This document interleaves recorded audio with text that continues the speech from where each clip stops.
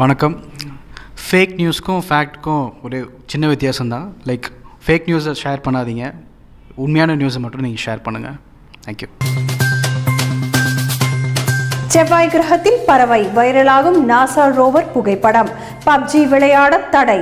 இன்னும் பல்வேறு விறுவிறுப்பான செய்திகளுடன் இன்றைய செய்தி தொகுப்பை பார்க்கலாம்.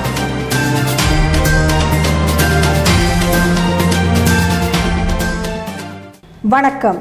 இருபத்தி ஓரு சர்க்கரை ஆலைகளை விற்பனை செய்ததில் மாயாவதி மோசடி செய்திருப்பதாக சிபிஐ குற்றப்பத்திரிகை தயாரித்துள்ளது.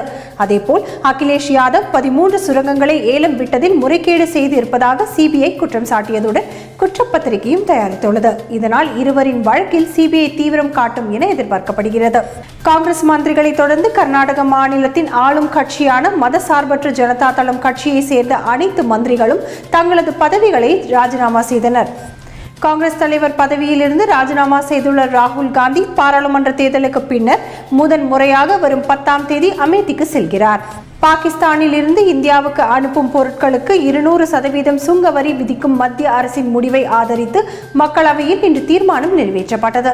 சென்னை தலைமை செயலகத்தில் முதலமைச்சர் எடப்பாடி பழனிசாமி தலைமையில் அனைத்து கட்சி கூட்டம் தொடங்கியது. இதில் துணை முதலமைச்சர் ஓ பன்னீர்செல்வம் எதிர்க்கட்சி தலைவர் மு ஸ்டாலின் நாம் தமிழர் கட்சி ஒருங்கிணைப்பாளர் சீமான் மக்கள் நீதி மய்யம் தலைவர் கமல்ஹாசன் உள்பட இருபத்தி ஓரு கட்சி தலைவர்கள் பங்கேற்று விவாதித்து வருகின்றனர்.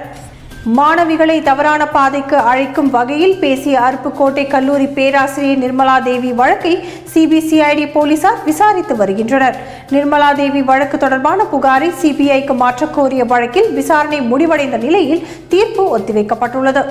மதுக்கடைக்கு எதிராக போராட்டம் நடத்திய வக்கீல் நந்தினியின் தங்கை நிரஞ்சனாவும் கைது செய்யப்பட்டார். மதுரையை சேர்ந்த இளம்பெண் வக்கீல் நந்தினி டாஸ்மாக் கடைகளை மூட வலியுறுத்தி போராட்டங்களை நடத்தி வருகிறார்.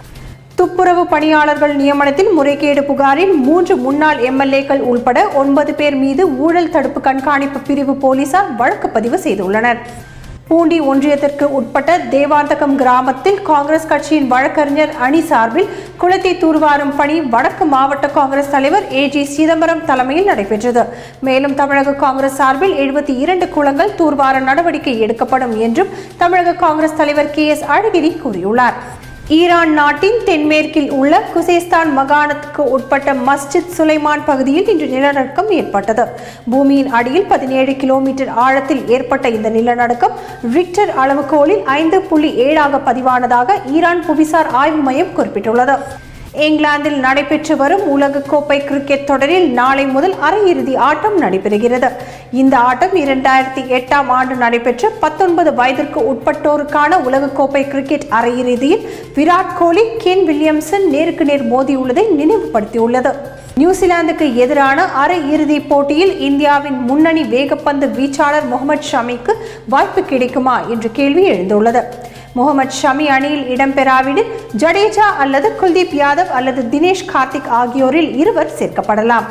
உலகக்கோப்பை போட்டியில் அதிக ரன்கள் எடுத்த சச்சின் சாதனையை இந்திய அணியின் துணை கேப்டன் ரோஹித் சர்மா முறியடிக்கலாம் என்று ரசிகர்கள் ஆவலுடன் எதிர்பார்த்து கொண்டிருக்கின்றனர்.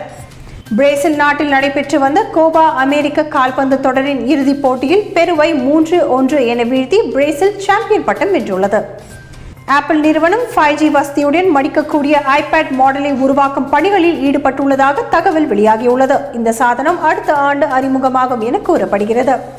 முன்னதாகவே ஈராக் நேபாள் இந்திய மாநிலமான குஜராத் இந்தோனேசியா மாகாணமான ஆச்சே ஆகிய இடங்களில் இந்த பப்ஜி விளையாட்டை தடை செய்யப்பட்டிருந்த நிலையில் தற்போது பப்ஜி விளையாட்டிற்கு ஜோர்டான் தடையை அறிவித்துள்ளது. இந்தியாவில் ஹெச்எம்டி நிறுவனத்தின் தயாரிப்புகளான நோக்கியா ஸ்மார்ட் போன்கள் விற்பனை செய்யப்படுகின்றது. மற்ற நிறுவனங்களுடன் நிலவும் தொழில் போட்டி காரணமாக நோக்கியாவின் ஸ்மார்ட் போன்களுக்கு அதிரடியாக விலை ரூபாய் பத்தாயிரம் குறைக்கப்பட்டுள்ளது. மேலும் செய்திகளுக்கு மாலை மலர் இணையதளத்தில் எழுந்திருங்கள் நன்றி வணக்கம்.